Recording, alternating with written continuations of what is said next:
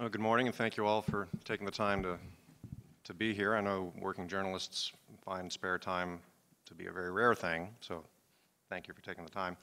Uh, obligatory plug for the agency. The NRC is the nation's safety regulator for civilian uses of radioactive materials. As Dr. Miller said, there are 100 uh, currently what we would consider operating reactors in the country. 99 of them are actually running. The 100th, uh, Watts Bar Unit 2 in Tennessee, has a license to operate, but has yet to actually start splitting uranium. Uh, I'm going to touch on three basic topics that the agency is dealing with uh, in a forward-looking sort of way. The first is new reactors. There are currently four brand new reactors under construction, two in Georgia and two in South Carolina. There are uh, applications for additional reactors at several sites around the country. The NRC has issued uh, a license to build another new reactor in Michigan uh, but that utility, Detroit Edison, has decided to not exercise that license at this time. Uh, we will continue reviewing the additional applications for new reactors, and the agency will come to decisions on whether or not those applications meet our standards uh, to issue the licenses to build and operate additional units. Looking a little further forward, as Dr. Miller mentioned, there are many varieties of reactors, many of which have not yet been built. One of the categories is small modular reactors. Uh, they are smaller versions of the designs that are in use today. There are many arguments as to why a small modular approach makes sense in today's economic environment, but I'm not going to get into those because that's not a safety question. Uh, the agency is currently expecting applications to approve these small modular designs. We expect an application later this year and then additional applications in the following years. It will take us several years to come to a decision on whether or not the designs are acceptable. And then utilities would come in with additional applications to build and operate those plants. Again, several years to go through that process. So Dr. Miller, Miller was entirely accurate in saying these advanced designs or small modular designs are not going to be in use for quite some time, no matter how the review process turns out. There are more advanced designs that go beyond the concepts that are currently in use today.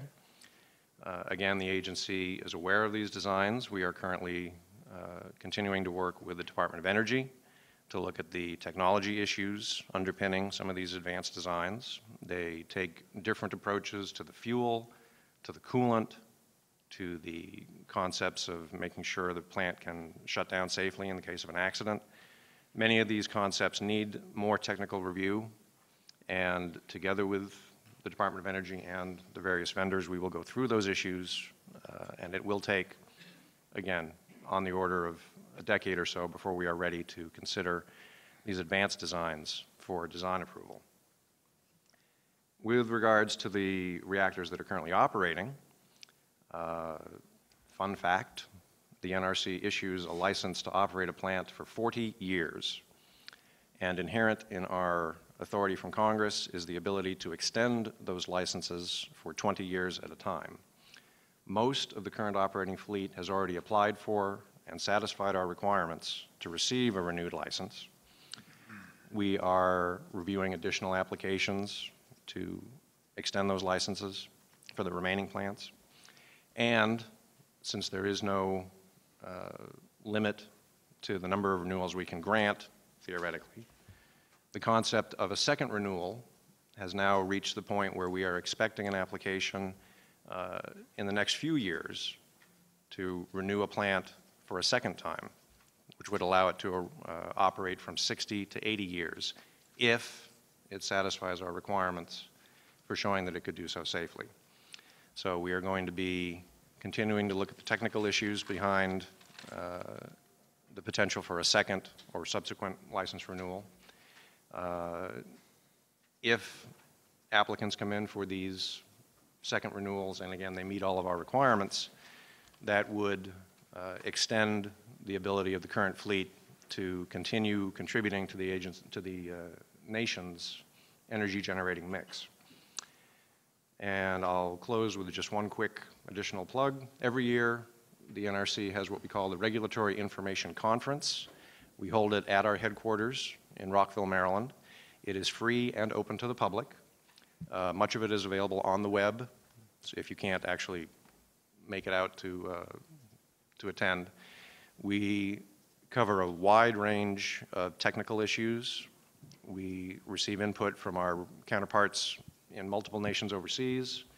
Uh, it is a it is a technical conference. The, co the content can sometimes be very jargon filled, but it is an excellent opportunity to understand what the agency is dealing with and what we intend to work on going forward.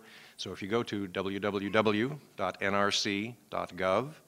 there will be a button on the homepage to take you to the RIC section where you can register and find the webcasts and all the other information uh, from these conferences. Thank you. Yeah, Kevin? Great. Good morning, everybody. My name is Kevin Kamps, and I serve as radioactive waste watchdog at Beyond Nuclear. And we are based in Washington, D.C., Takoma Park, Maryland. We're a national watchdog on the nuclear power industry. And uh, I'm going to cheat a little bit because I'm on tomorrow's panel on reactors and save a lot of what I have to say about reactors till tomorrow. So, given some of the parameters, climate change, uh, another one was breaking stories that journalists might be interested in. I'm going to focus mostly on waste today. But I wanted to start, because climate change was one of the, the frames, to just point back to an excellent book by the Institute for Energy and Environmental Research from 2006. It's entitled Insurmountable Risks The Dangers of Using Nuclear Power to Combat Global Climate Change by Dr. Brice Smith.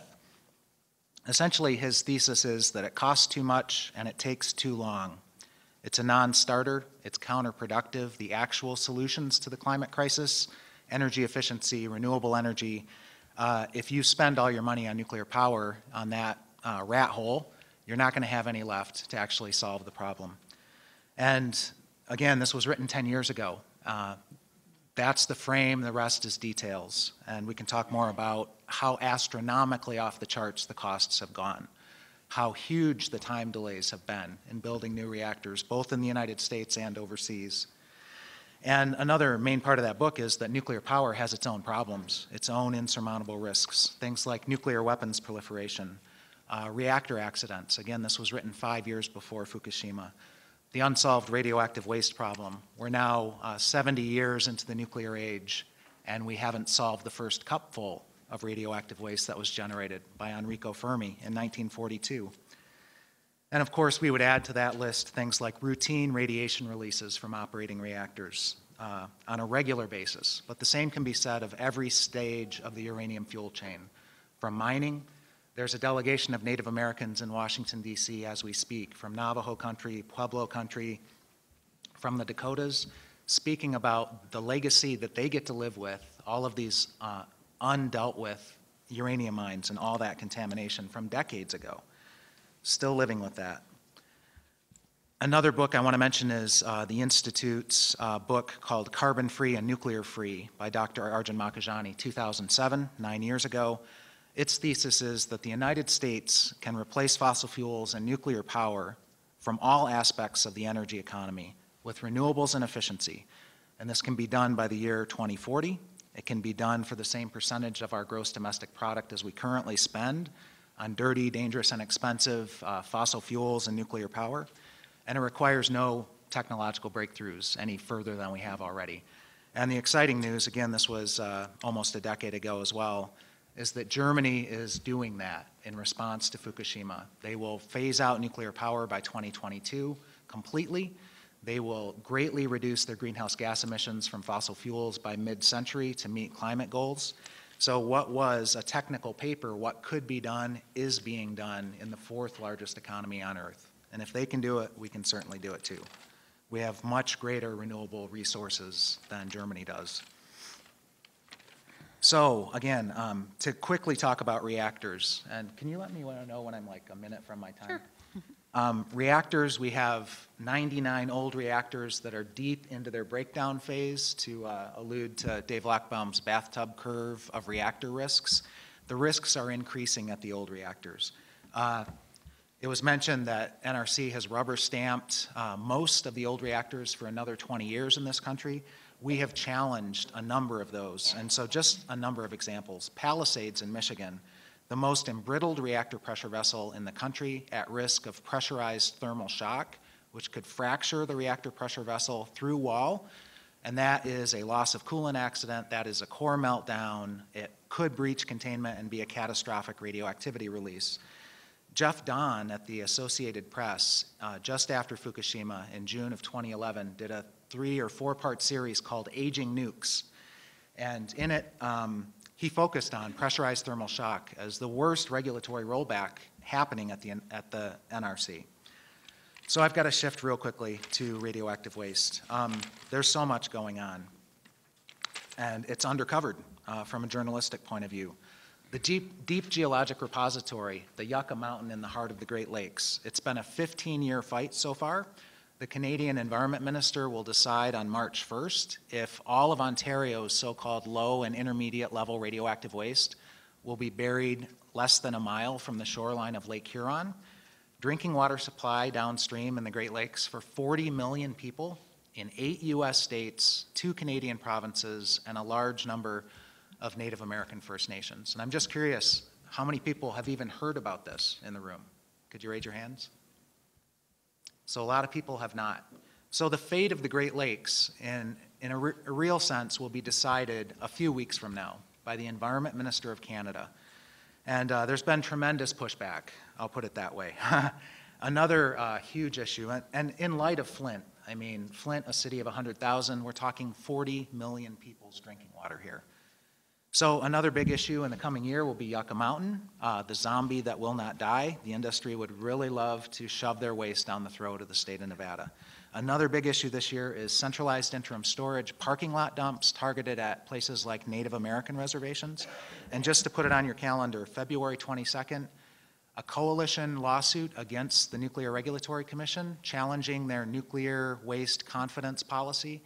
Environmental groups, states like New York, Native American tribe in Minnesota. And if we prevail again, these license extensions that have been rubber stamped, these new reactor licenses like Fermi 3 in Michigan, uh, it'll, ta- it'll be a big blow against those licenses. All right, and uh, John? Good morning, and- and thank you for having me. John Keeley with the Nuclear Energy Institute in Washington. The NEI is the trade association for commercial nuclear power here in the United States. Um, I'm struck by the prevalence of Washington in this summit. I- All four of your panelists are are from Washington. Please don't hold that against us.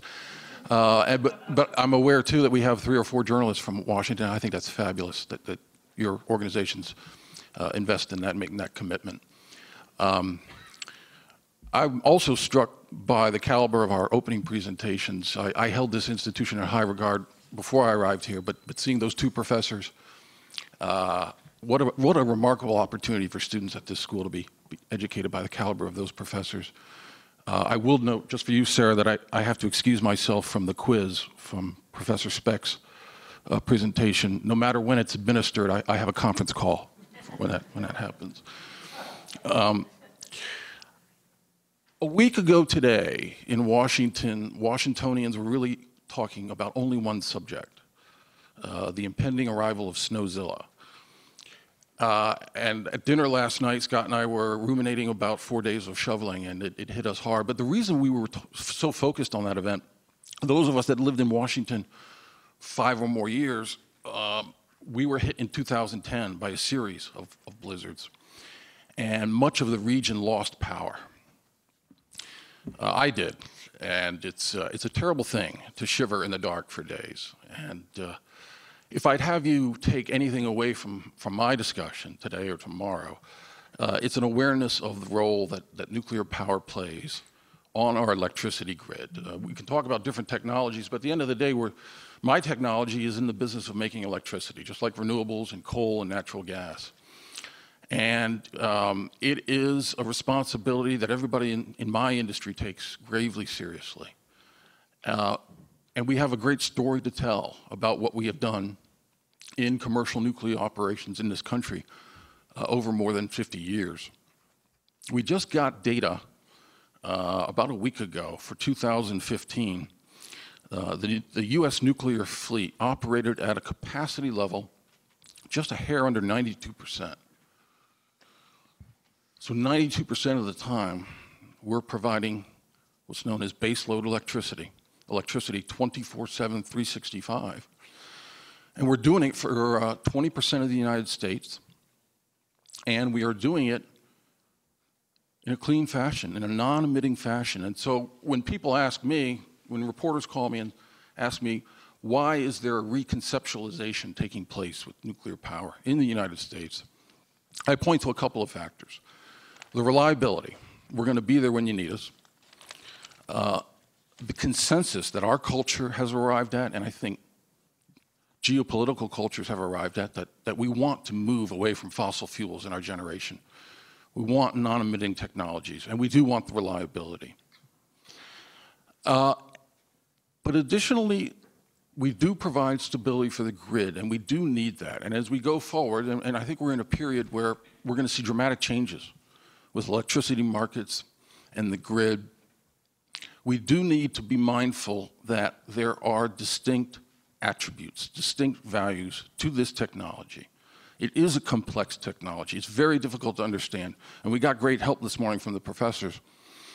But for communicators like Scott and me, this is, this is the eternal challenge letting the American public know, letting policymakers know the great story that we have to tell. Um, I'm looking forward to your questions today and tomorrow. And again, thank you for, for letting me participate in this forum. Hi, good morning. My name is Dave Lochbaum. One minor correction, I'm not from Washington. Um, I'm actually from Chattanooga, Tennessee, which is closer to Columbia than Washington, D.C. Wanted to talk this morning about something called the bathtub curve due to its shape and how that affects economics and safety of nuclear power. The bathtub curve, as I mentioned, gets its name from its shape. The left-hand portion of the curve, the failure rate for humans, products, cars, nuclear power plants, et cetera, is initially high due to material imperfections, assembly errors, and workers not knowing how to use a new widget. The right-hand portion of the curve, called the wear-out zone, also involves higher risk, increasingly higher risk, as aging degradation reduces safety margins. Kevin mentioned there are 99 operating nuclear power reactors, all that are heading towards, if not already in, the left-hand portion of the curve, right-hand portion of the curve where the wear-out zone increases risk, and five new reactors that plop down on the left-hand portion of the curve, the break-in phase. In addition, the nuclear power plants that are aging are not a homogeneous unit. Parts are replaced periodically to maintain safety. So there are parts of plants that are swapping from one end of the curve to the other end of the curve with every refueling outage. That done properly, that maintains safety margins and extends the life of the plant, as Scott alluded to earlier, why plants at 40 or 60 or 80 years can be as safe as they were at day one. Done improperly, they reduce safety and increase costs. To point out the difference between right and wrong, look at the Nuclear Regulatory Commission last year, which sent out eight special inspection teams to nuclear power plants to investigate things that rose above the normal level of wear and tear and problems. Four of those eight special inspections involved the bathtub curve. There were problems at three existing plants with aging parts, and one of the new plants that hasn't even split an atom had a problem in the break-in phase, where workers who didn't really know what they were doing caused a problem. I want to focus on, on one of those examples to just show you what can go wrong with workers and companies that had greatest intentions, but those great intentions went awry, reducing safety and increasing costs. At the Fort Calhoun nuclear plant in Nebraska, workers replaced some valves or rebuilt some valves last year that had parts inside of them that were susceptible to getting harder as they incurred more and more radiation over time. These parts were inside the reactor containment building. The plant had been started operating in 1970s, and over 35 years had those parts had received some radiation. So they had the very good thought of reducing that vulnerability by replacing those parts with parts that were less susceptible to radiation hardening. So they replaced those parts and then restarted the reactor, and within as soon as the reactor temperature got above 300 degrees Fahrenheit, the new parts melted.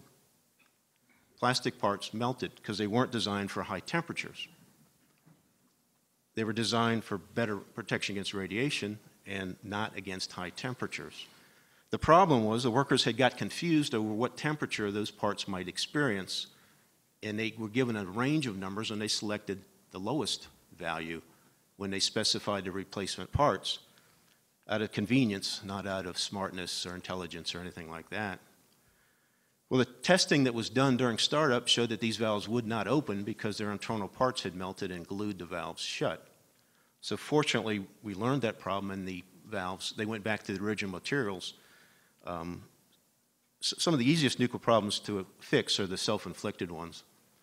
You just undo what you messed up yesterday. But the, cha- the challenge is that one was found and that was fixed, so there was a lesson learned. But what about parts that are replaced that aren't so convenient about raising their hand and saying, hey, look, I'm messed up? There are many parts of the plant that it's hard to test because we don't test them under the conditions that were experienced during an accident. And during an accident, it's too late to find out that your replacement parts make things worse. So it's a challenge. Many companies are doing it right, replacing parts and, and sustaining safety margins, perhaps even improving safety margins. But when you screw it up, you, you, things can go down. San Onofre and Crystal River in the last few years attempted to replace aging parts, awarded contracts to the lowest bidder, and ended up having to shut down early because that didn't work right. So sometimes the second or third lowest bidder might be the better option than looking simply at saving a few dollars. Thank you. Thanks.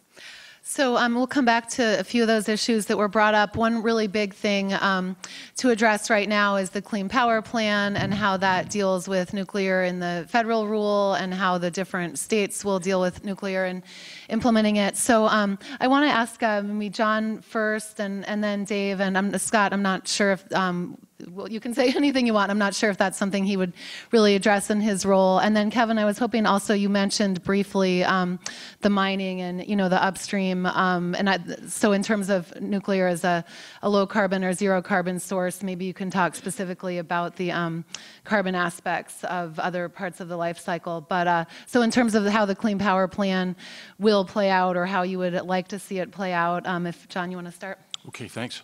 So, so the Environmental Protection Agency last year promulgated uh, the Clean Power Plan. I think the final rule came out in August. And uh, we had a team, a significant policy team, taking a look at it over a lot of days. It's uh, not quite as big as Obamacare, but it's, if you're an insomniac, you might want to put this in part of your bedtime reading. But the good news is the language in that rule is very explicit about the role that nuclear can and should play for, for uh, mitigating against climate change going forward. We were really, really excited about that.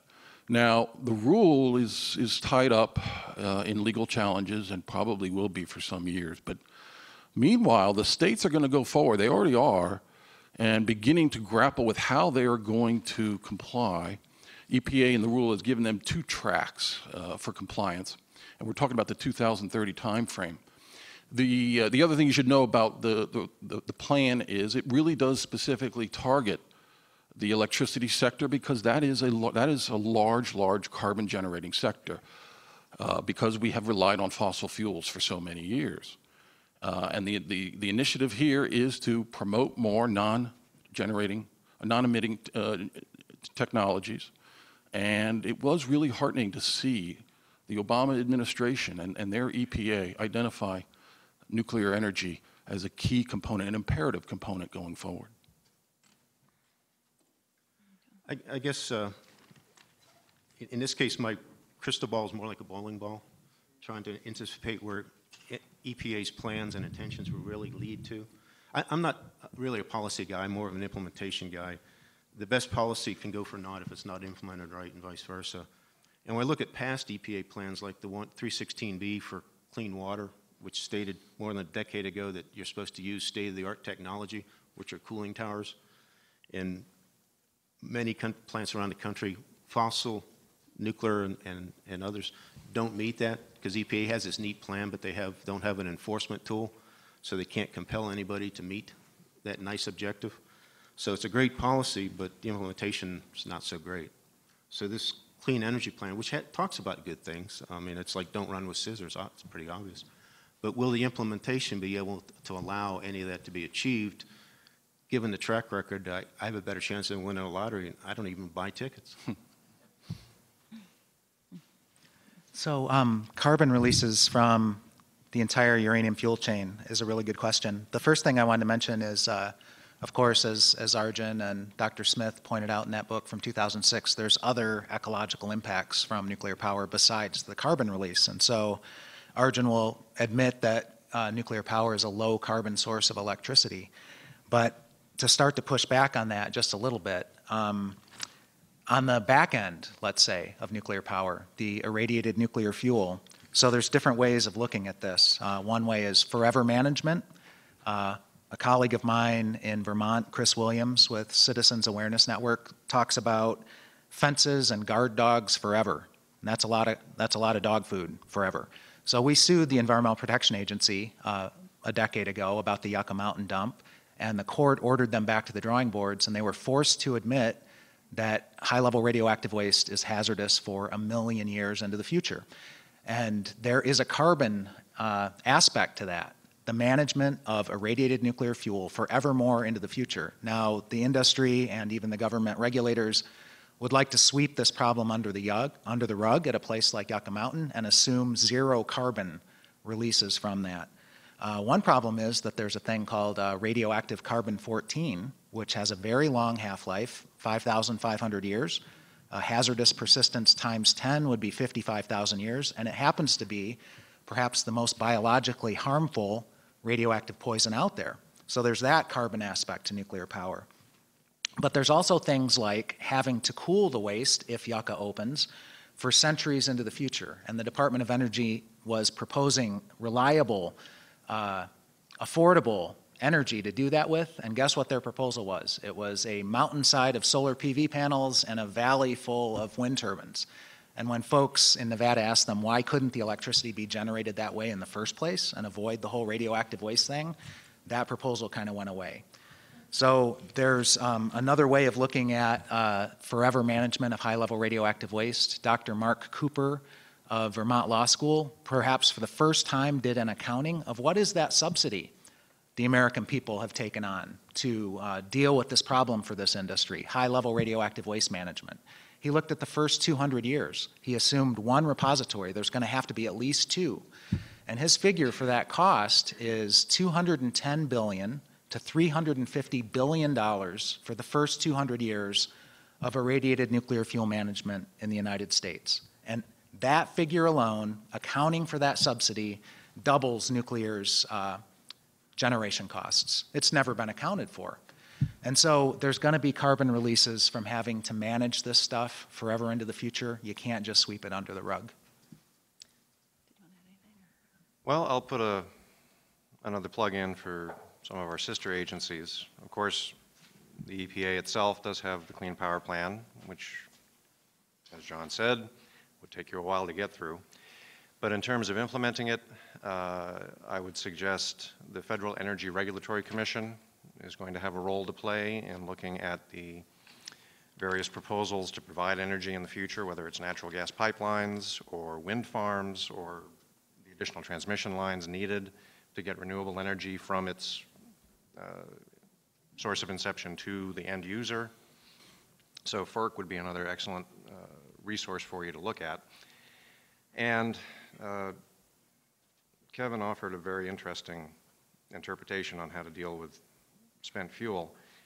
Once it would reach Yucca Mountain, it would already be well past the point of needing any active cooling. So I'm, I'm not certain what he's referring to uh, with the need to cool the fuel once it gets to Yucca Mountain. It would already be in containers that are capable of passively cooling it for an extended period, certainly long enough to comply with the EPA standards uh, for the Yucca Mountain facility. The NRC does have a full environmental impact statement regarding the Department of Energy's application for Yucca Mountain. It is available on our website, and it does have information regarding DOE's plans and the NRC's conclusions regarding the potential environmental impacts of that site. Thank you. Can I rebut that? since that was mentioned. Y- um, Really quick, maybe, and then we'll move on. It's frightening that a top OPA official from NRC doesn't know about the ventilation system at Yucca Mountain. So a limiting factor at Yucca Mountain is the thermal heat that will be generated for centuries into the future. Yeah, uh, the containers give off heat. They sure do. And you put too much of that heat in a concentrated place and it fractures the rock. It also drives the corrosion chemistry inside Yucca Mountain. There's lots of water inside Yucca Mountain. So they would ventilate for centuries, actually, into the future. And It's a these huge part of the design of the these Yucca Mountain factors dump are in the application, and they are covered in the environmental impact statement. And that, I think these issues are things that um, can be discussed in the panel tomorrow, too, that Roger Witherspoon's um, moderating. Oops. Um, So in terms of the Clean Power Plan, and then even just more generally, the way that energy, our energy landscape and generation and delivery, thank you, um, systems are changing, obviously renewables and natural gas um, are playing a big role, and, and there's a lot of interaction and competition between those sources and nuclear. So um, if, if any or all of you could talk about um, how those different energy sources are, uh, you know, what the forces going on there are. Um, Dave? Yeah, just, when I was back in college back in the 70s, uh, it was a while ago, uh, at the University of Tennessee, at another Southeastern Conference place, so welcome to the SEC. All of our computing was done on large mainframe computers. Um, In that time, information technology is diversified. We now have distributed computing, if you will, with laptops, uh, notebooks, iPhones, all kinds of things. We're reducing the dependence on large mainframe computing or ciphering boxes. I see in the future that electricity generation in the United States will follow that same path. Perhaps not as fast, perhaps not to the same endpoint, but I see a move away from large centralized power stations of any sort, whether it's nuclear, fossil, whatever, towards more distributed generation. That model, if it happens, would tend to favor smaller sources of electricity generation, the small modular reactors that are being talked about, and not the large mainframes, large centralized power stations that we've seen. So I see that happening. I'm just not sure the time horizon on which that will happen. Uh, I'll- weigh in here a little bit, uh, although I'm not, I'm not an expert in forecasting the energy future, but uh, it's difficult for me, just personally, to, to see a future without large power plants for grid stability. Um, you know, ju- just to go back to the blizzard in DC last week, I'm really glad that Washington wasn't relying on solar power uh, panels. They don't work well in blizzards. I think there is going to be a need uh, for grid stabilization um, in large industrialized countries like the United States to have that dependability. Uh, and I do. I don't think we're going back from the consensus that we've achieved uh, in terms of pursuing cleaner generation, non-emitting generation.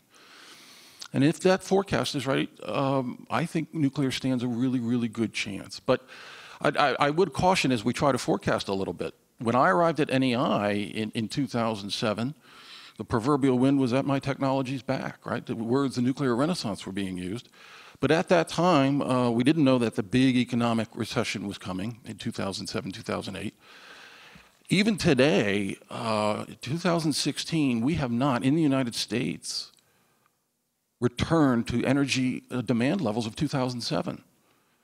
So suppressed electricity demand, which has been durable now for some years, the I think I don't think anybody was forecasting the, the shale gas boom that we've seen over the last seven or eight years. Uh, so you just have to have a little bit of caution in terms of projecting far out into the future. And I think you, the best bet right now is to say, well, who's performing really well? Who's reliable? Who's non-emitting?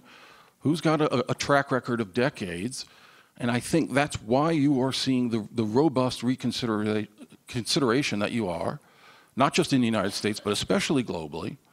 We are today building uh, five new units, two in Georgia, uh, two in um, uh, South Carolina, and one in Tennessee that's already uh, started up. So five new large plants under construction. I wish there were more. Uh, but worldwide, we have 72 units under construction, 13 in China, another 17 there, I think, on the map. So globally, you are seeing the recognition, particularly from third world countries that want to elevate their standards of living. The best way to do that is to get reliable, large scale power to their populations. On the same question, and we'll, we'll stick on the same topic, um, can any of you also address just how it plays out differently, the economics in regulated and deregulated competitive markets? And if I understand right, it's unlikely that new reactors would be built in um, competitive markets, so Well, I, I can take that from the re- uh, regulatory side. There has been a, a chicken and egg question in the licensing of new reactors when it comes to merchant plants. The NRC has had a policy of saying, in effect, you have to have the financial backing in place before we can give you a license. Merchant generators have come to us and said, we can go get financial backing when we have a license. And those two things would seem to be at odds. So the agency is considering a revision to our requirements that would essentially say, we will give you a license, but it's only effective once you prove to us you have the financing. So the question of whether or not uh, regulated versus deregulated markets would have an effect on uh, reactor licensees' ability to move forward remains an open question. Uh, Once the agency comes to a conclusion on that, we'll certainly uh, make that information available. Just to touch on uh, the earlier topic, as Dave said, small modular reactors, the concept would be several modules uh, at one site, which could conceivably uh, equal the output of one large reactor. Uh, From a technical standpoint, you would then have the ability to uh, take one of the modules offline for maintenance without losing the majority of the generating capacity of the entire site, whereas with today's reactors, if there's an issue, the entire generating capacity is taken offline until such time as the reactor again meets the NRC's requirements. So that is one of the technical selling points for the concept of small modular reactors. Kari, I'll just, if I could jump in on the SMRs, because I think it's a really exciting topic. I remember the arguments that I would encounter from opponents two or three years ago that there's no economic model for small modular reactors. Well, yesterday in Washington, D.C., 48 companies pledged $1.6 billion in a consortium to advance the cause of commercial, commercialization of, of small modular reactors. NuScale believes that they are going to go to the market in 2023. And if, if you're an undergraduate, that seems like a long time away. But in nuclear time, that's not far away at all. I'm very excited about that technology. And the other thing that I'm really intrigued about with SMRs is we are going to we are retiring a lot of coal generation in this country. In fact, in 2016, I've seen forecasts that 20,000 megawatts of coal will be retired just in this country. Where would you plug in potentially small modular reactors? Well, how about brownfield sites where coal was once generating electricity? You plug it right into the grid that's already there. The transmission is already there. It's a fascinating proposition. I think there's a lot of viability to it. It's going to be really, really fun to watch. NRC is staffing up for the review of small modular reactors. I think this is a really exciting frontier to watch in the next few years. There's so many things I'd love to respond to. Um, I think it's very telling that both in the Clean Power Plan by the Environmental Protection Agency, but also at Paris COP21, nuclear did not do very well at all. Neither did natural gas, actually, in the Clean Power Plan. So that's very telling. There's great analysis by Tim Judson at Nuclear Information and Resource Service, who was in Paris, also analyzing the Clean Power Plan. Also, Arjun Makhijani did analysis. Another important report is Mycle Schneider's World Nuclear Industry Status Report, comes out every year, and it's showing this decline in nuclear power across the world as time goes on. Uh, whether it's small modular reactors or large scale reactors, I mean, 10 years ago, we were facing three dozen proposed new reactors in this country. They were giant in size, around 1,500 megawatts each. Thankfully, that list has dwindled considerably. I mean, this new reactor at Watts Bar Unit 2 in Chattanooga is not new. It's 43 years old. That's how long it took to build. Again, a 2023 start for the small modular reactors, we don't have that kind of time with the climate crisis. It's going to come and go, it'll be over with before nuclear shows up and eats up all the money. And uh, I wanted to, I got to talk about the Snowzilla. So I survived Snowzilla a few days ago. I survived Snowpocalypse a few years ago, Snow, Snowmageddon in DC. Uh, there's a great tweet by Scott Stapf at the Hastings Group Why is the media ignoring NEI's false prediction that Snowzilla would not stop nuclear plants? And it points to two articles Platts, January 25th.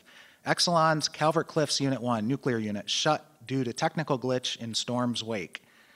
Uh, another article, January 25th. Um, slushy lake water shuts down Fitzpatrick nuclear plant.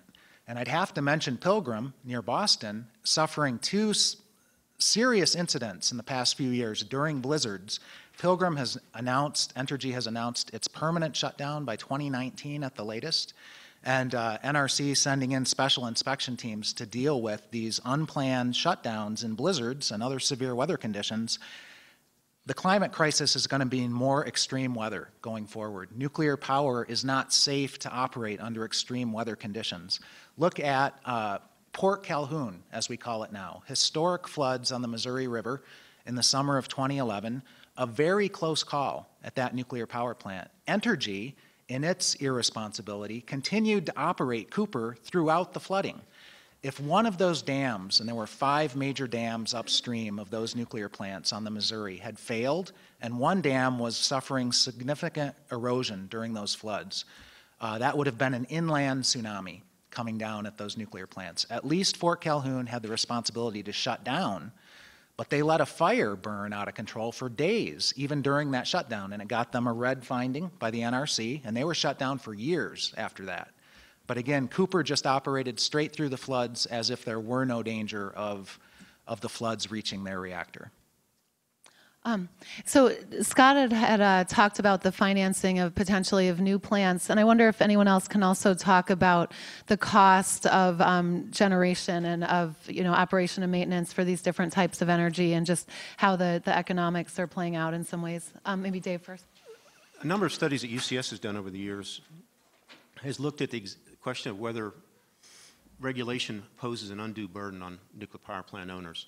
In our studies and those of our colleagues, the government and non-government, consistently show that the top performing plants are, are those where the owners do a responsible job of not only focusing on production, but also focusing on safety, because they're two sides of the same coin the first study that I authored was The Good and the Bad and the Ugly in June of 1998, where we looked at 10 nuclear power plants across the United States and graded them on a safety scorecard that I developed. The top safety plant was the Surry plant in Virginia, which was also the lowest cost electricity producer. We felt we picked that because we thought they might have been taking shortcuts in order to achieve good financial performance. But they were not. They were very aggressively looking for problems and marrying that up with a very effective program of fixing problems right the first time, achieving strong safety and strong economic performance. What bothers us is when we hear proponents of new reactors talking about they need to reduce, streamline the NRC, do less, let the owners do more of their own as a way to make sure that nuclear power is viable in the future. That's guaranteeing a disaster. If you look at the history in this country, the plants that have gotten into trouble have been where management made the wrong choices and took safety shortcuts, and the Nuclear Regulatory Commission didn't catch on quick enough. They did, NRC, it's, NRC's like a sports referee. You never see all the good calls that a referee makes. You, see, you remember the bad calls. The NRC does way more good than bad. They need to remain in place. They need to be expanded for nuclear power to be a strong player into the future. Mm-hmm. Um, John, would you want to? Well, I'll actually agree with Dave that there's a correlation between safe operations and high levels of pro- productivity by our plants. I, I, I take the position that you can't achieve 92% capacity factors if you're not operating safely. The, the NRC has a demonstrated record of, of shutting down plants that don't operate safely. I, I'm not going to speak for Scott, He'll, he can do that. But uh, our capacity factor, you, you go back to the 1980s, and the nuclear fleet wasn't at wasn't operating at 90 percent uh, capacity factors. So so what was, so what did we do? Well, TMI happened in 1979. That was the worst operations experience in, in the United States history. It's the only significant operating event that we had. One, one reactor melted down in Pennsylvania. So in almost 5,000 years of reactor operations experience, we had one really bad day. But as a consequence, we erected, industry erected, what's known as the Institute of Nuclear Power Operations. NRC has the job, the daily job of making sure that the nuclear fleet in this country operates safely. INPO's job is to drive the safe level of operations up to excellence. And I submit to you that when you see a fleet nationally operating in excess year in and year out at a 90% capacity factor, that's a success story. I got a flash on my computer last night. I was in my room, and uh, NRC yesterday issued license renewal for Braidwood Units 1 and 2 in Illinois. That's an Exelon uh, site. Over the last 10 years, this was in the Platts Flash, over the last 10 years, Braidwood 1 and 2 operated at a capacity factor of 97%. I read that and I rubbed my eyes. I hadn't seen that kind of figure over a decade. Basically, over the last decade, that plant ran continuously. Nobody, no other generation in this country or in the world comes close to that. Um, so, but again, I, I, I draw a correlation between safe operations insured by the NRC and high, high capacity factors. So I think um, everyone has something um, just brief to add on the same point, and there's one or two other questions I want to get to address. So maybe just really briefly, Kevin, and then Scott, and then back to Dave. if- Yeah, again, um, during that 97% run at uh, Braidwood, they were releasing millions of gallons of radioactive tritium into local neighborhoods with uh, uh, untold health consequences on the neighbors. So um, the costs of these proposals, uh, Vogtle Units 3 and 4 in Georgia, $8.3 billion in nuclear loan guarantees from federal taxpayers without zero skin, with zero skin in the game from the companies building those plants. In addition to that, construction work in, in progress, rate hikes on electricity bills in Georgia. They got it all going for them. If that still goes under, if it defaults on its loan repayment, the taxpayers lose $8.3 billion. Uh, The same with small modular reactors. Again, UCS, IEER, PSR, there's members of PSR here today, have done analyses of the subsidies that would go to small modular reactors. Hundreds of millions of dollars of taxpayer money have already flowed to this, billions more the industry would like. And again, UCS did a study back in 2011 the subsidies that nuclear power has enjoyed over the decades um, are huge if you add it all up, and that's what UCS did in 2011. It was a report by Doug Koplow, Nuclear Power Still Not Viable Without Subsidies. That's the giant new reactors that have largely gone away, and it's going to be true even more of small modular reactors. They don't have the economy of scale. And just to touch on the Byron Braidwood issue that Kevin mentioned, uh, there is information on the NRC website regarding the instances that were isolated where uh, tritiated water did reach the environment. Uh, There were no instances of any drinking water sources that were affected by those spills. And again, the full details are available on the NRC's website. And I will state in a slightly different form what the others have already said, the NRC's inspection and enforcement system is set up in such a way that it is best for plants to meet our requirements right the first time. If they start playing catch-up, our inspections and our oversight get more and more intense, which requires more and more response from the plant and from the NRC until we are satisfied that the plants have returned to an optimal state of safety. And then, did you have something? I just wanted to follow up on a, a slight disagreement with NEI. The Three Mile Island accident did happen in 1979, I agree on that. INPO was formed the following year, I agree on that. But INPO is kind of like the person on the milk carton. Where is INPO? Uh, since that, since INPO was formed, 47 U.S. reactors have had to shut down for over a year to restore safety levels.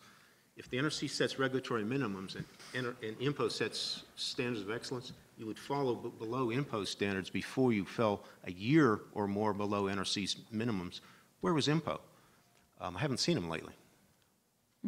So, and now even just putting aside um, safety for a moment, I'm curious if anyone has anything to say about just the cost per kilowatt hour of these different energy sources, um, you know, both when you're talking about competitive markets and regulated markets where ultimately the ratepayers are, are paying the cost, obviously also. Um, so just any, you know, basics on the way these different types of um, generation compete?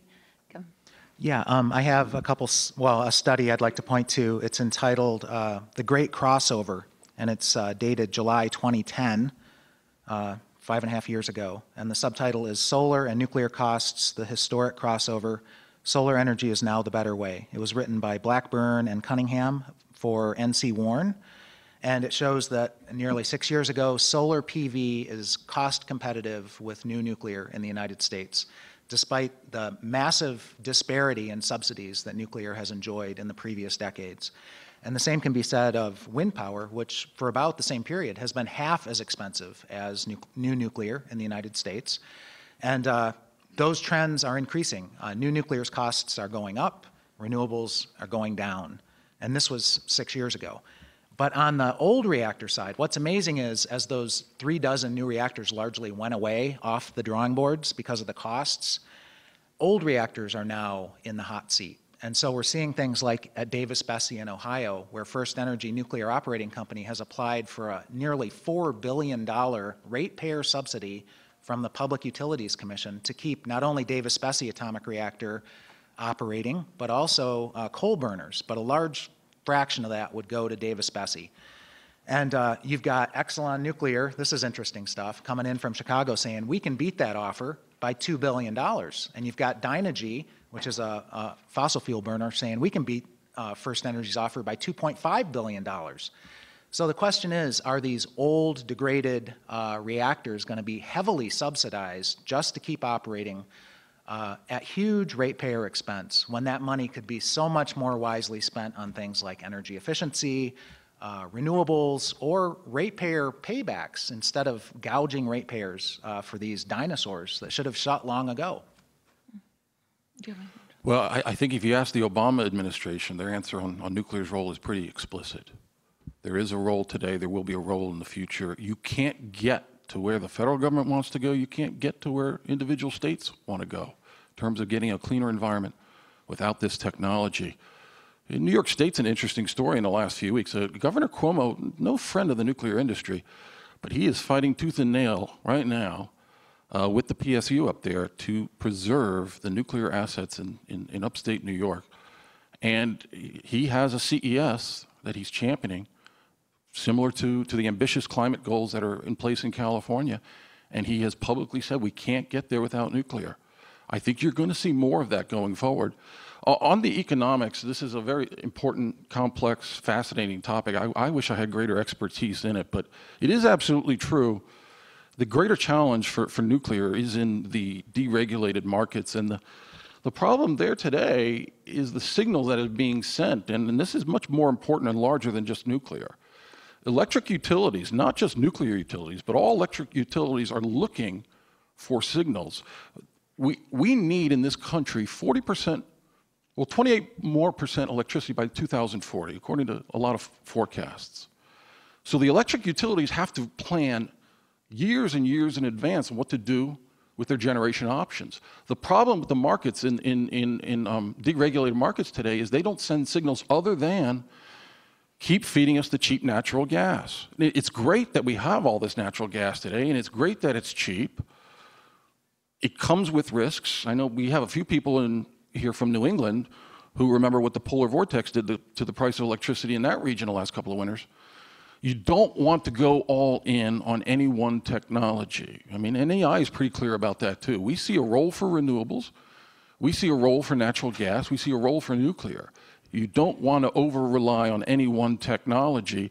And the problem now in the electricity markets, the signals are not being sent to the utilities about what they should do in the future. NEI is working hard with FERC to, to bring about some reforms and some recognition of, of our technology's distinct attributes. Uh, but that's going to be a tough slog, but we're hopeful in the next year or two we'll see some important reforms uh, in the markets. So we'll go to um, questions now, and we didn't really talk much. Oh, actually, let, let me let Scott respond, um, and then questions. Go ahead. Again, I'll, I'll, I'll plug uh, the sister agencies to the NRC. Uh, For more data on different uh, prices from different power sources and how those are compared, and how those are, are taken into account, I would again suggest going to FERC's website. And there's also the Energy Information Administration, which is a branch of the Department of Energy. Uh, they do a great deal of statistical work looking at uh, existing price structures and doing forecasts into the future. Uh, Their website URL changes from time to time, but if you search, uh, if you Google Energy Information Administration, you'll end up there, and again, a great deal of uh, basic data to look, look through there with regards to cost. Great. And we didn't really talk much about the international, but that'll come up hopefully in this Q and A. So, um, um, Okay, so we're going to start with some questions now. I want to remind you that we're going to take questions from registered journalists, so please show me your name tag. And we would like you to state your name and your publication. Um, and I'll start with anyone who hasn't asked a question previously. Go over here. Thank you. I'm Roger Witherspoon. I'm Roger Witherspoon with uh, SEJ, and I write Energy Matters. Um, I- I- John, I'd like to talk to you a bit about um, baseload. Um, FERC changed the definition of baseload back in 2006 from, from reliance on a large plant to simply the minimum amount of electricity needed to operate a system. And uh, the, that was adopted the following year by, by NERC, and the regional grids, such as New York, have changed their definitions also and are encouraging more and more distributed generation. So I'm a bit puzzled by your position that um, we should look at the baseload model, which actually only seems to apply these days in areas where there's still a monopoly utility system, as opposed to a deregulated market.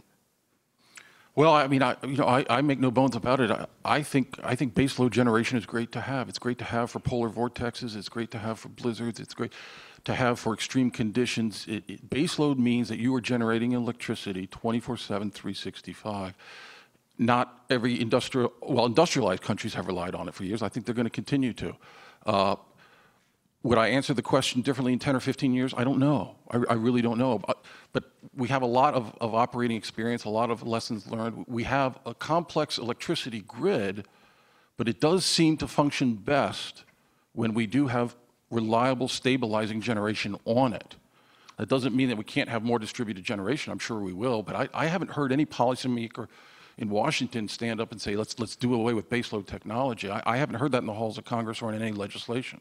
It wasn't do away with baseload technology. It was simply making the grid more flexible to take electricity from, from different sources. As you pointed out, prior to 2000, when deregulation took hold, um, the, the, the nuclear fleets were operating an average of about 35 percent, and not the 92 that they're doing now. And the grid worked fine for years because it was used to taking from different sources as the, as plants crashed and went down. And that hasn't changed. Well, So that analysis, well, that scenario you propose looks at a, a very, a culture that's static in its electricity use. We are a markedly more electrified culture today, right? We have flat screens. We have all of this technology. We are voracious consumers of electricity. I don't see that changing. And i- i- if you, if you postulate that, I think you would want to argue for baseload generation, but maybe not. but isn't there an argument to be made that a system that was designed over the years to take distributed generation hasn't become less efficient over, over time? And if it was something that could be done, you know, in, in, in the, uh, up to 2000, um, before your, your, your firms took over, why can't they do that now when you have uh, wind farms that are operating again at about 35% of the time? Uh, You're an advocate for 35% capacity? No, no, I'm simply saying that if the, the systems were designed to be able to handle that load before, why are you acting as if they can't do it now? Well, I'm not saying they can't. I mean, renewables uh, play a role in our grid, uh, and it is increasing modestly. Um, but yeah, we, we believe in a diverse portfolio, a diverse suite of, of technologies as part of a portfolio of generation. We think that's a, that's a, that's a, that should form the basis of a national energy policy. Right now, though, the markets are sending the signals not for more wind or more solar. They're saying give us more cheap natural gas. Certainly in the deregulated markets. I don't personally I don't think that's a good national energy policy, but right now the economics are driving that. Okay, next question. Jeannie Erdman, I freelance uh, health and science stories. This is a very basic question. I just wondered what factors determine where um, nuclear power plants get built. Is it based on maybe geographic need, or is it the NFL model where you get the best public subsidies? It's really determined by need. So I referenced the five plants that are under construction today. They're all in the American Southeast, and I think we all know that the demographics of this country have shifted dramatically. That's where the big population booms are going. So the Georgia PUC did an you know investigation over some years. They made a determination, um, and that's in a, in a guaranteed rate of return state, that nuclear was their best option. They saw nuclear as a 60-year asset, potentially maybe an 80-year asset. Remember, too, nuclear plants at, at 1,000 megawatts running 24/7, you you can power Washington D.C. with one nuclear power plant. A population of six, 700,000 people can be served reliably, cleanly by a nuclear power plant. So that's a determination that was made in the thriving, growing regions in Georgia and South Carolina and Tennessee. I think if you're going to forecast out to the extent that there might be more new build, maybe Texas, I think Virginia, Dominion Power is looking, but you're going to see it there as opposed to North Dakota or South Dakota, so- something like that. So it really is need driven, uh, and the PUCs do look at that very, very closely. Kevin, or, oh, so Kevin and then Scott. I'd, I'd answer where they can get away with it, and uh, where the, the NFL model, like you mentioned, um, in Georgia, again, uh, 8.3 billion dollars, and you mentioned Obama. Obama gave 8.3 billion dollars of taxpayer money, his energy secretary, Ernest Moniz, uh, without without any credit subsidy fee, zero skin in the game by Southern Nuclear and the other companies involved. All that money could be lost. I mean, Solyndra Solar, the Republican Party made a huge deal about the Solyndra Solar uh, loan guarantee. That was $535 million. Vogtle 3 and 4 is 15 times that amount of money. And what's even more telling is the Vogtle uh, 2 reactor project is at a higher risk initially than Solyndra was deemed to be. Now, Solyndra did go bankrupt. Yes, they did. And $535 million was lost to the U.S. Treasury. Vogtle started that project at a higher risk than Solyndra was considered. And ever since, you know, many years ago now, uh, huge construction delays, huge cost overruns. So we'll see how it goes. And uh, another part of that, where, where they can get away with it, is there, there were a handful of greenfield new reactor proposals. Those went away for the most part pretty quickly. Where they can get away with it is where they already have their, their claws embedded in a community. And so again, Vogtle, units one and two have been there for a couple decades. Ironically enough, they were the poster child for cost overruns the last time around, something like a 1,200% cost overrun at Vogtle units one and two. And the construction work in progress, the ratepayer subsidy, uh, is illegal in most states. It's illegal in the state of Missouri, has been since the mid 1970s by popular referendum. It's illegal in the state of Indiana, and several reactors were stopped when courts decided that these, uh, these surcharges on electricity bills to build new reactors were not legal. And one of those reactors, Marble Hill, was largely constructed at that point until the court reversed it and people got their money back in the mail from the utility companies. So, Uh, From a technical standpoint, there are uh, a set of constraints on where large single-unit reactors uh, can be sited. When you consider uh, small modulars and their different approaches to the steam generating cycle, the possibility of uh, doing more direct air cooling as opposed to uh, drawing from a groundwater source, the flexibility increases on the number of sites where small modulars could be considered. But again, a technical issue that would be looked at through the licensing process. Thank you. Next question. Thank you. Uh, My name is Rod Kuckro. I write for E&E Publishing. I'm based in Washington, and I primarily concentrate my time talking about the evolution of the utility sector, in particular against the backdrop of the Clean Power Plan and carbon constraint. Um, Our readers expect us to bring more light than heat to the any stories we write, try to bring some understanding to the stories. Uh, And yet, as complex as you've all acknowledged this, solving this problem is, um, I sometimes uh, avoid uh, talking to people who have a sort of siloed view of this issue because you're predictable. And you're not helping to sort of advance my understanding as a reporter or our readers' understanding of what the eventual solution can be to this problem.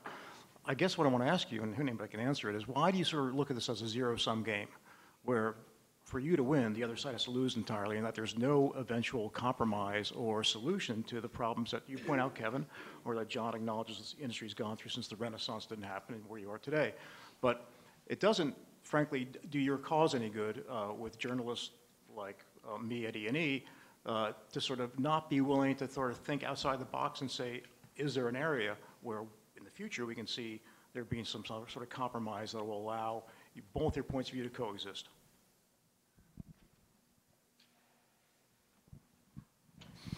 Well, I'll just, I'll just offer, uh, if I haven't made it clear, I'll, I'll state again, in NEI's position uh, in terms of generation is we really do want and think it's the best energy policy nationally to have diverse generation, diverse suite of technologies. There is a role for renewables. There is a role for coal. We're not going to wean ourselves off of coal in the next year or five. It's going to be here. It's going to retire significantly, but it's still going to be around. Uh, clearly, natural gas is here to stay.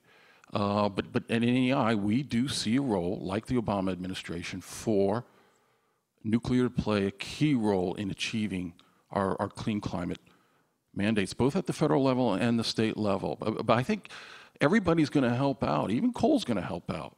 But I do think I, I don't I don't think we're going back to fossil fuel generation driving the majority of electricity generation in this country. I don't think we're going back there.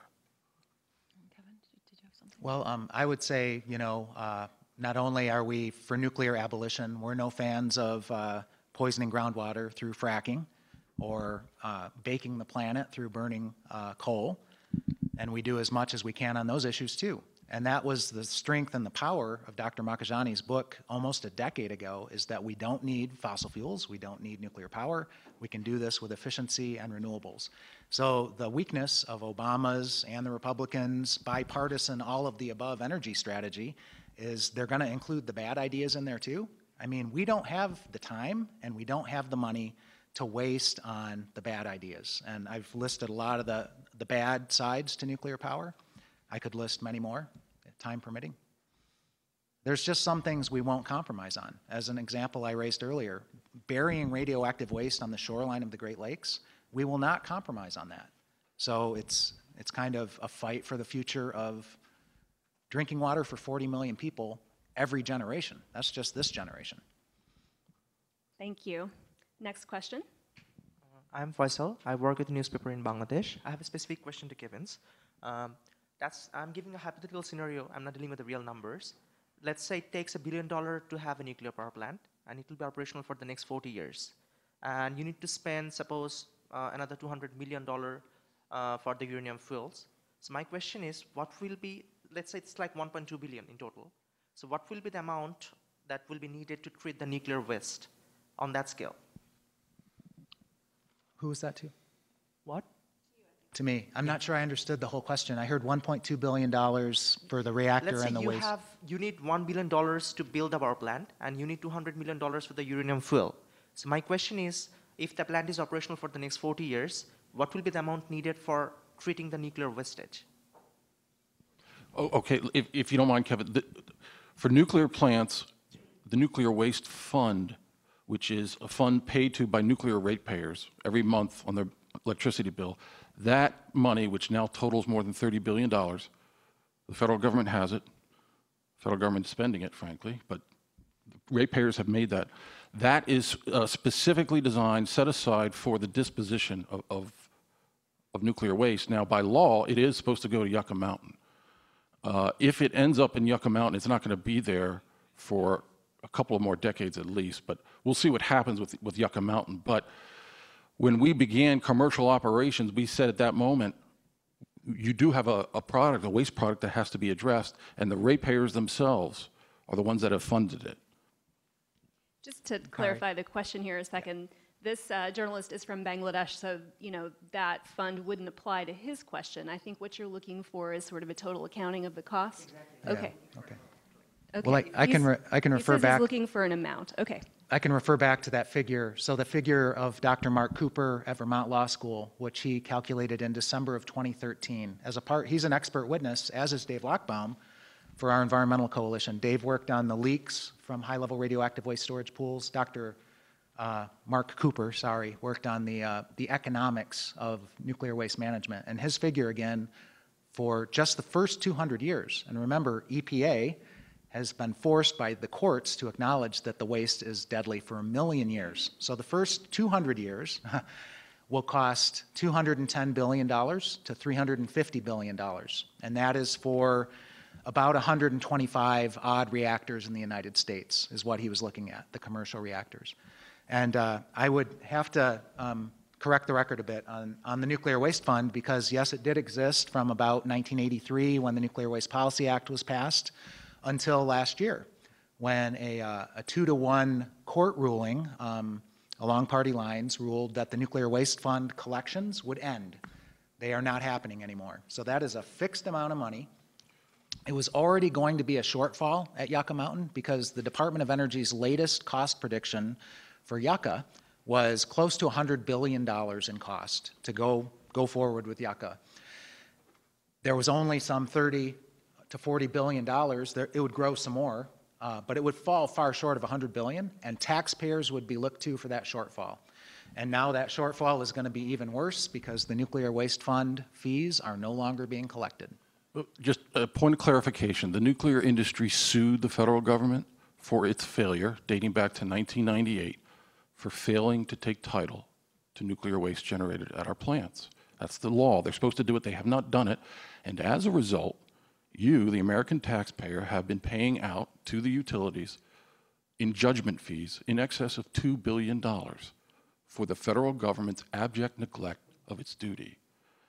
When President Obama took office and basically killed Yucca Mountain, the nuclear industry said, there is no used fuel program anymore. And as such, how can you expect ratepayers to pay for a program that no longer exists? So 30 billion was, was uh, accumulated. Every year in interest, that fund earns $750 million, absent any more payments, so it's growing.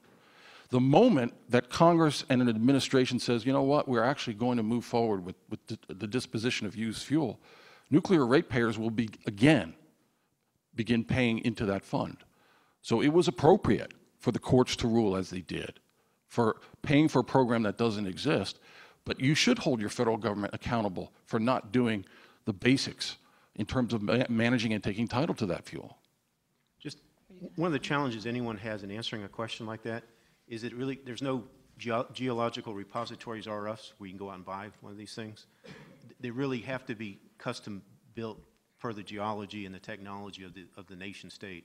So you can pay more to have a more robust structure, or you can decide to go less, not isolate the material for as long and get it cheaper. So it really de- determines, depends on what the geology is in the location and how robust you want to design the thing. That determines the price tag. Because no one yet has an operating one anywhere, it's all speculative as to what that final cost will be and how transferable it would be from Finland or Yucca Mountain to anywhere else. So that's why it's a little bit mm-hmm. challenging to answer that question because there's not enough data. And with one or two data points, you can extrapolate almost anywhere you want. But if you would like to look at, again, the basic data that went into the U.S. uh, approach, the Nuclear Waste Policy Act is available. It does have a legislative history. It does describe how the Congress developed this plan, how it came up with the uh, per kilowatt hour charge, and how it, uh, at that time, considered that amount to be appropriate to accumulate enough money to resolve the waste issue going forward. Thank you. Next question back here. Good morning. Uh, Chuck Quirmbach, Wisconsin Public Radio. Um, for states like Wisconsin, and there's some others that are considering getting rid of their ban on new nuclear plants, I was wondering, Mr. Keeley, what's the industry thinking about it, what it would like to get in to a state such as that? And if it is SMRs, maybe someone else could address whether they think SMRs are safe. We heard a little bit about the cost of SMRs, but what about the safety of SMRs? Yeah, I have some thoughts on, on the safety, and I, I want Scott to weigh in too. Uh, but I- and I appreciate the question. Wisconsin is, it's, it's a really exciting development out there. Uh, the legislature um, early this year took up a repeal of the, the um, moratorium against nuclear plants in, in Wisconsin. We would, wel- there are about 12 states in the United States that have a moratorium, and uh, I hope that those states reconsider, partly for the SMR factor, but I think the Clean Power Plan it potentially is- is going to play a role in, in such a reconsideration. When you, when you, if you overturn your moratorium, it doesn't commit you to, to building a nuclear plant. It simply says we have another low carbon tool in our toolkit to meet with compliance, whether it's federal or state. So I think it's wise. Uh, the, the discussion should be robust. They have been robust in Wisconsin, but I think that's a wise policy to pursue. It doesn't obligate you to build, but you say we have that option. Right now, Wisconsin doesn't have it, and I think there's a good chance that that moratorium is going to be repealed. From the, from the technical side, the concepts that vendors have been discussing with the NRC, the basic approach is instead of one large reactor core generating heat, you divide it up into several small modules. Each of those modules would be self-contained. They would have their own uh, containment structure in case anything would happen.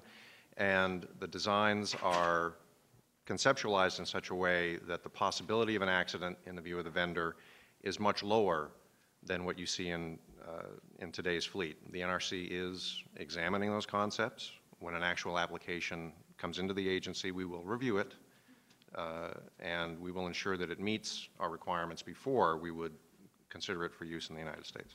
One comment on the safety of new reactors. The 2005 Energy Bill extended the Price-Anderson to federal liability protection for new reactors.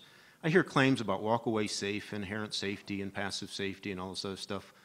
But when the vendors don't even believe in those claims, to go out and get their own private liability insurance instead of having me pay for it, I'm going to remain a little bit skeptical about those claims, more than a little bit skeptical. If I was a Union of Concerned Science Fictionists, I'd, I'd, I'd be entertained by it, but I'm not, and I'm not. And I would remind everyone that a plain reading of Price-Anderson requires utilities to purchase their insurance from private sources. That would have been grandfathered had not the 2005 Energy Act extended it into the future. So it would have been true, but would have no longer been true but for President Bush. Um, Kevin, briefly, and I think we have time for one or two maybe questions left.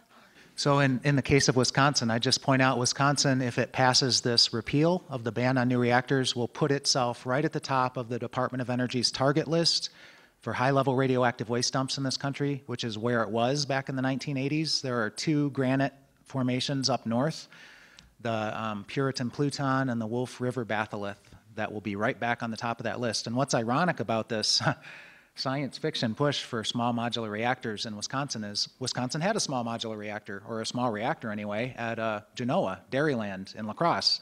It shut down after not many years of operations. You still got the waste, you still got the contamination. Just across Lake Michigan, there's a small modular reactor. It's called Big Rock Point in Michigan. I know a lot about that place. There's uh, plutonium in the, in the ground, there's plutonium in the soil, there's plutonium in the sediments of Lake Michigan that just didn't get cleaned up in that $366 million decommissioning project that was carried out there. So these are not that small. I mean, there's another small modular reactor in that neck of the woods. It's called uh, Fermi 1. And uh, it had a meltdown. Three Mile Island was mentioned. Well, we've had more than one meltdown in this country. That was October 5th of 1966, a plutonium breeder reactor, sodium cooled. Uh, it'll be the 50th anniversary. So our question is uh, Fukushima plus five, uh, Chernobyl plus 30, uh, Three Mile Island plus about 35, uh, Fermi 1 plus 50. Where is next? And again, if you go to the NRC's website, the details on the successful cleanup of Big Rock Point are available, as is uh, information regarding the fuel failure at Fermi 1, which was not on the same scale of Three Mile Island. Only two assemblies Question melted. right there. Okay, question? Hi, I'm Padma Nagappan from uh, San Diego, and I have a question about costs on the decommissioning side. So in Southern California, we have the San Onofre plant. Um, it had to be de- decommissioned because of uh, faulty replacement steam generators, something that Dave uh, touched on, replacement parts. And so Southern California Edison now wants ratepayers to pick up the tab for retiring this plant. So how do these costs, economic and safety, make sense? Um, and in terms of decommissioning for this one particular plant, um, we're talking about all sorts of numbers, but in total, one estimate says about 10.4 billion. So, you know, with everything adding up. So how does this make sense? I'd, I'd just like to make sure we have the question clear. There is the decommissioning fund, which exists, and in Southern California Edison's view, is appropriate for cleanup of the site. Then there's the separate issue of the costs associated with the premature shutdown of the plant and how those costs would be uh, apportioned between Southern California Edison rate, uh, ratepayers and shareholders. Could you clarify the question? Uh, it's because it was prematurely decommissioned, and we're, we're stuck with the tabs. That's my question. And, and, and again, is your question regarding decommissioning of the site or the costs of the premature, premature shutdown of the plant? The costs. Which costs? The cost of the premature shutdown Thank and um, what ratepayers are dealing with and how, you know, that whole fracas is going down in California. I think it's fair to say that um, the decommissioning trust funds are not big enough. Uh, you know, I was just up in Vermont not too long ago and heard Entergy Nuclear say that come, you know, 60 years of SAFSTOR, if there's more work to be done at that site, they're walking. And right now, the decommissioning fund at Vermont Yankee is about half of what it needs to be. It's 600 million, it needs to be 1.2 billion. And uh, so essentially, Entergy's challenging the state to sue it for, for this predicament. And again, I mentioned Big Rock Point, $366 million spent at a 70 megawatt electric small modular reactor, let's call it, and a lot of contamination left behind. So the trust funds are too small. The biggest decommissioning project in U.S. history is underway at Zion, north of Chicago, with no financial auditing in place. It's quite incredible, actually. So the question is, how deep down will the cleanup go? I mean, at a place like Connecticut Yankee, the contamination went down tens or even hundreds of feet into the groundwater, and only the top inches or feet are cleaned up. And what does cleanup mean? It's shipped out west and dumped in a ditch. So sorry, well, we're going to have to wrap up now. Um, each panelist will get literally one sentence to just leave us with the final point, and then obviously there's still time to discuss these issues throughout the conference. So, um, Dave, you want to start down there? Well, I just want to leave it, you know, if nuclear power has got a lot of advantages, a lot of energy for not much fuel going in. If that's managed, if those risks are managed properly, you get all those benefits. If you mismanage them, one bad day can wipe out decades of good days, which no other technology has such a risk-reward scenario. Uh, I'm very proud of my industry's safety record over more than 50 years of commercial operations in this country. Uh, tomorrow, when we're discussing Fukushima, you will hear about some distinctions uh, between the Japanese nuclear fleet and industry and, and the American fleet. You'll hear a little bit about how the uh, American nuclear engineers responded to that event. There's a reason why the Nuclear Regular uh, Regulatory Commission is identified as the gold standard for regulatory bodies around the world, and why the U.S. nuclear fleet is identified around the world as the safest in its operations. Uh, nuclear power is in its death throes. The question is, do we go down with it? The Japanese parliament uh, concluded that the Fukushima catastrophe was caused by collusion between regulator, industry, and government officials. And we have that in spades in this country. So it's just, uh, we're living on borrowed time. And efficiency and renewables are the answer, so why are we taking these risks? Members on this panel have mentioned a number of issues which reasonable, peop- reasonable people will have questions on. I'll be more than happy to provide you my contact information if you'd like the NRC's take on those issues. Thank you. Thank you. Thank all our panelists.